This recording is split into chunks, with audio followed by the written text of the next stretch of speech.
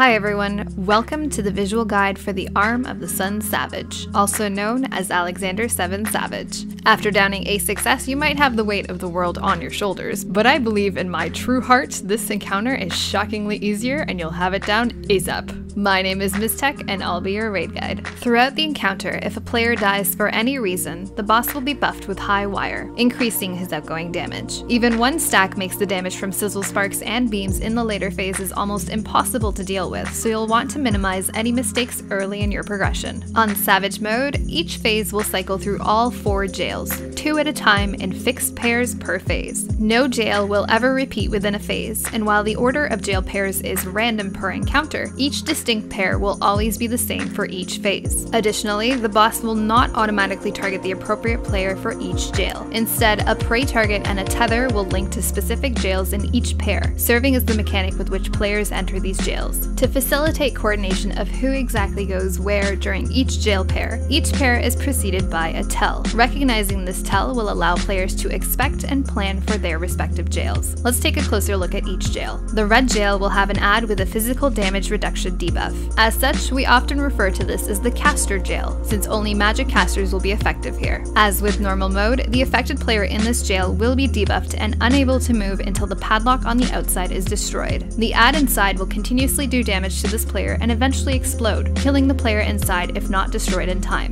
That said, it's imperative that this padlock is destroyed as soon as possible, allowing the player inside to destroy their ad in time. The purple jail has an ad with a magic damage reduction debuff. Again, we refer to this as the melee jail, and we will only make melee enter this jail. As with normal mode, this ad will put up a 20 second throttle on the affected player that will kill them if the ad is not first destroyed. The white and green jails are for tanks and healers respectively, and they have essentially the same mechanics as normal. Tanks will have to destroy their ads while avoiding the walls and mitigating damage as necessary, and healers will have to stand on the spout spewing gas and shield through the damage to save the raid from that spicy dot. Now that we have a decent grasp of how the jails work on Savage, let's start at the beginning. We pull and tank the boss in the north of the center platform. Corporal Punishment, these large yellow AoE circles will target two players and cast twice in a row. If a player is hit by this, they'll take damage, suffer a dot debuff, and be drained of TP and MP. Bait and avoid this as necessary. Sizzle Spark is a massive raid-wide AoE that will also place a lightning resist down debuff on all players. In later phases, Sizzle Spark will cast multiple times in a row, stacking this debuff up and increasing the amount of damage players will take from any lightning attacks. Sizzle Beam is a line AoE at the player affected by this purple marker. It will do high initial damage and lightning damage over time. Only one player should be getting hit by Sizzle Beam at any one time. Have them or the raid move appropriately. Healers need to be extra careful anytime the Sizzle Spark debuff is up. The higher the debuff, the more damage this player will take from both the initial hit and the resultant dot. Next up, all players will be tethered to a bomb. You can't escape the damage of your own bomb, but you will need to move away from other bombs. Getting hit by your bomb will put up a magic Vulnup debuff on you for about 7 seconds. Getting hit by more than one bomb will probably kill you. Getting hit by your bomb while on the spikes will also kill you. To deal with this mechanic, each player has an assigned spot to pull their bombs to. We have 4 players run to the outer platforms,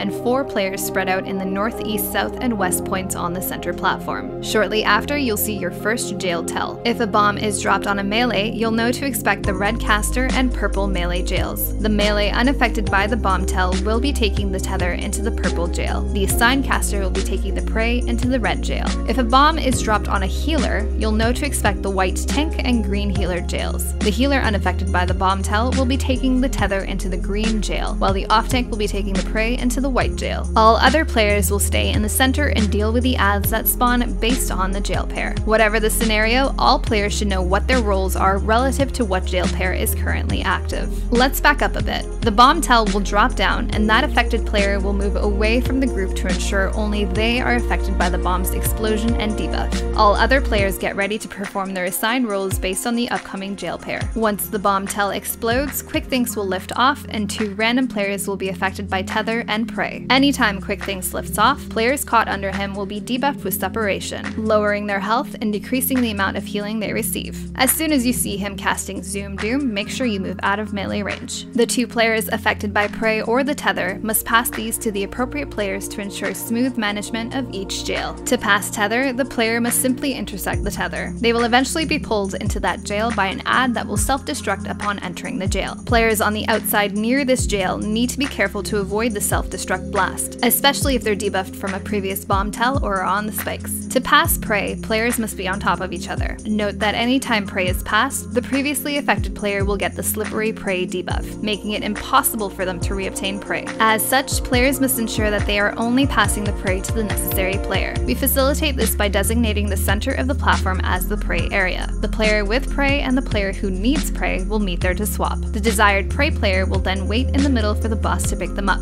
Since jail mechanics will replicate based on the number of players in that jail, no other player should be near the middle of the platform at this time. While the assigned players are in their respective jails, the rest of the group will be dealing with their respective ads. The small panzer dolls must be destroyed in about 30 seconds or they will explode, debuff, and probably wipe the raid. The big Sturm doll's Kugelblitz should be interrupted to avoid its paralyze. If the red jail is active, the padlock will obviously take priority over the ads, and these ads should ideally be destroyed before the boss returns. Once he does, he will cast Sizzle Spark. Players returning from their jails should ensure that they're not caught on the spikes at this time. Next up, Uplander Doom signals the beginning of the tank swap. After the cast, Quickthinx will begin stacking a physical Vulnup debuff on the main tank. This can stack up from 4 to 6 and tanks will need to swap once all the stacks have been applied. A few moments later, the second bomb tell will drop. Knowing who does what based on each tell is essentially pure memorization, and with practice and repetition, it'll become second nature. Send the appropriate players into their jail while everyone else deals with the ads. You might get another Sizzle Spark, and at 75%, the boss will enter phase 2. Tanks will immediately have to watch for Uplander Doom here and swap appropriately. The spikes around the room will disappear, and the cat and two Weight of the World balls will spawn randomly in the room.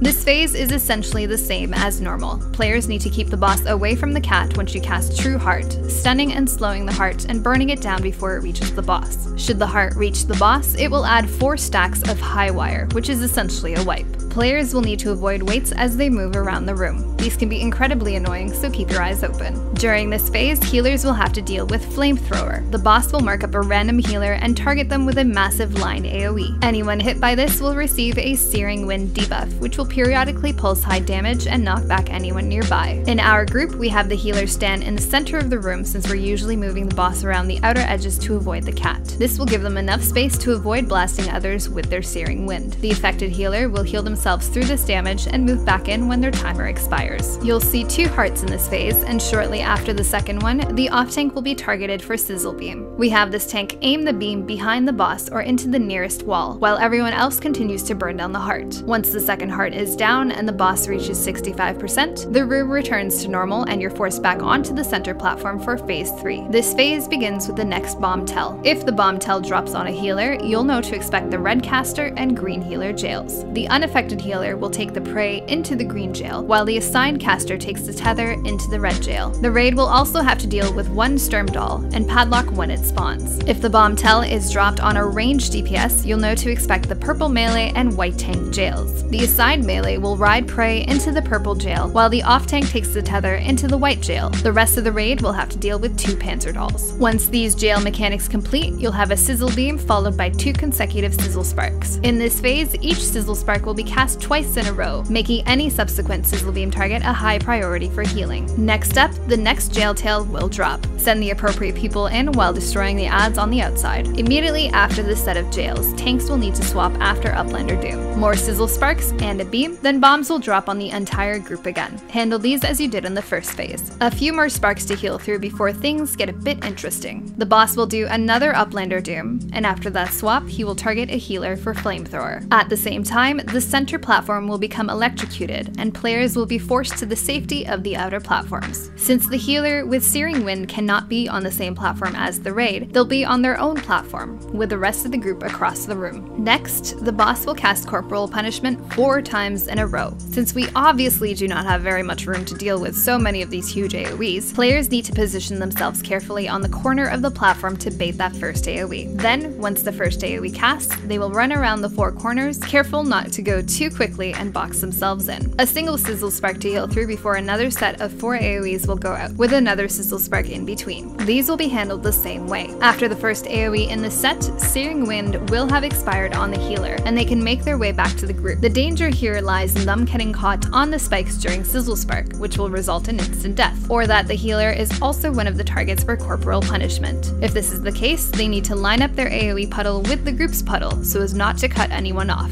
Alternatively, you can have that affected healer stay away from the group until after the set of double Sizzle Sparks. At this point, the boss will spam two Sizzle Sparks and shortly after, a player will be targeted for Sizzle Beam. Have them stand in a predetermined spot while everyone else moves away. They'll take high damage here from the double Sizzle Spark stack, so healers be ready. Another two Sizzle Sparks and the spikes will disappear, leading us into the next phase. This time, everyone will have to watch for three Weight of the World balls, and the healers will need to expect two Flamethrower casts. Everyone else will continue to burn down the boss and the heart, keeping the boss away from the cat as necessary. As this phase change happens, the first healer will be targeted for Flamethrower. They will run away to the same area they were in during that AoE merry-go-round. Next, the cat will spawn its first heart and all damage dealers should swap to it. At the same time, Quickthinx will also cast Uplander Doom, forcing another tank swap. Remember to keep the boss sufficiently away from the heart during the tank swap. Next, Sizzle Beam will target a random DPS this time, and we have them stand on the wall, aiming the beam away from the group. The next flamethrower will cast, and this time the affected healer runs to the middle, handling it in the same way as the first cat phase, while we continue to move the boss around the outer edge of the room as necessary. Handle the second heart, and then get ready for a spam of three sizzle sparks. The room will return back to normal, and the last phase will begin. The tells in this last phase are a bit different. If a sizzle beam is cast on the off tank, you'll know to expect the red caster and white tank jails. That same off tank will be grabbing the prey into the white jail, while the assigned caster grabs the tether into the red jail. The raid will deal with two panzer dolls as well. Ideally, in this scenario, you want to burn down one of the panzer dolls before the padlock spawns, then burn down the padlock before the next sizzle spark cast. Remember not to get caught on the spikes during this cast or you will die. Once the padlock is destroyed, kill that last panzer doll before returning to the boss. If two bombs drop on a healer and a melee, you'll know to expect the green healer and purple melee jails. To avoid overlapping damage from these bomb tells, we have the raid move to one side of the platform, while the affected melee runs to the other side, away from everyone. The affected healer will take their bomb to the closest corner platform. In this instance, the melee unaffected by the bomb will take the prey into the purple jail, while the unaffected healer takes the tether into the green jail. The raid will have to handle one Panzer doll and one Sturm doll. You should be able to burn down the Panzer doll before the Sturm doll spawns. Just remember to interrupt Kugelblitz as necessary. After this first set of jails, you'll get a Sizzle Beam and then Sizzle Spark three times in a row. With three stacks of the debuff, the healing requirement is insane, and the use personal cooldowns will help avoid that horrible snowfall effect of death. The next set of jail tails will then appear. Handle these as necessary. Tanks will need to be ready for another Uplander Doom tank swap, and healers for the next Sizzle Spark triple. If the boss isn't down yet or enraging, you'll see another set of group bombs. Handle these as you did in the previous phases. The boss will cast one final enraged Sizzle Spark at 12 minutes and 30 seconds, and you may find that the DPS check can be a tight one. If you're having trouble meeting this requirement, maximizing your damage output, including tank and healer DPS, will help immensely. And there you have it. If you have any questions or comments, please let me know. Up next, we'll look at the monstrosity that is Alexander 8 Savage.